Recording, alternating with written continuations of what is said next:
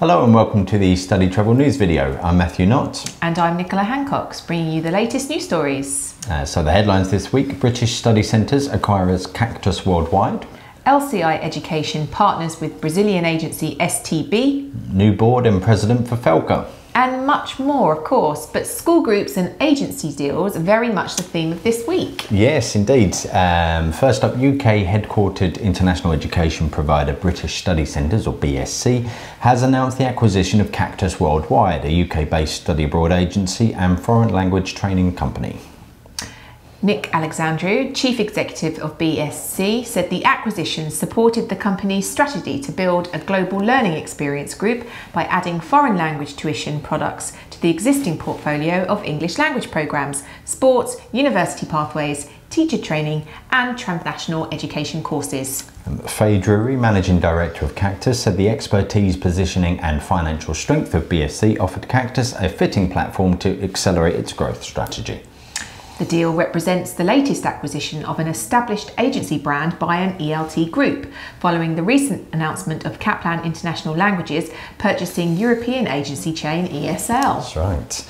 Um, and next, uh, Canada headquartered private higher education group LCI Education has announced a strategic partnership with major Brazilian agency STB or Student Travel Bureau, which has 60 sales points in Brazil and an overseas branch in Australia. The financial details of the deal have not been disclosed, but it was said the two companies would continue to operate independently under separate corporate brands while leveraging a variety of growth synergies. Um, the existing management teams will remain in place. Uh, Claude Marchand, chief exec of LCI, said STB's dominant position in the Brazilian market would accelerate growth.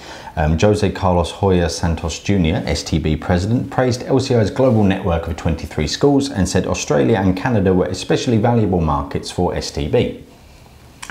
The Federation of Education and Language Consultant Associations, or FELCA, has elected a new board and chosen Paolo Barilari as its new president for the next four year term.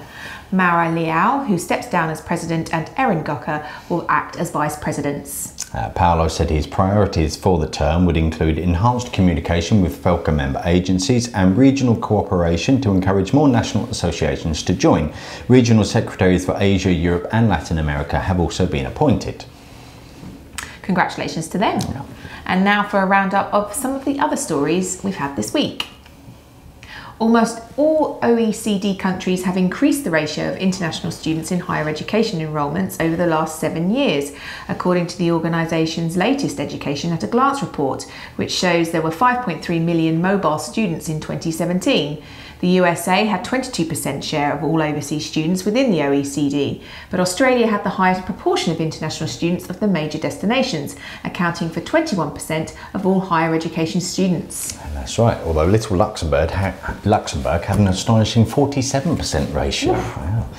uh, moving on, Australia's Department of Education and Training has announced that 11 student markets have recorded double digit enrolment increases in the first half of this year, including India, Nepal, Colombia, and Vietnam.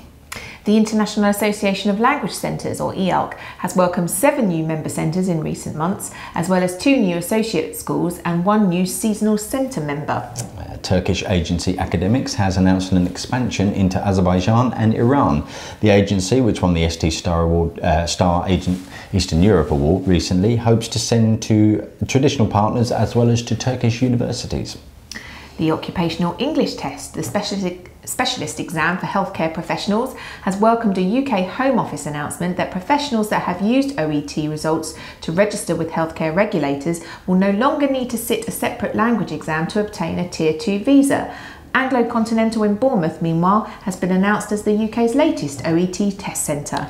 Uh, the Boarding Schools Association, or BSA, and the British Association of Independent Schools with International Students, or BICES, have announced a new partnership to promote the needs of international students in the UK. IHM Football Academy, a specialist UK provider, has announced a partnership with the International Professional Scout Organisation, or IPSO, to provide feedback on the potential of its young international players. Um, and finally, Avondale College of Higher Education has become Australia's first ever university college following approval of industry regulator TEQSA. congratulations to them. More on all of those stories online, as well as lots of photos from fam trips, including Liverpool School of English and Anglo Continental hosting agents at the Bournemouth Air Festival, Yeah. and a Colleges and Institutes Canada mission to Colombia. Thanks for watching. Goodbye. Goodbye.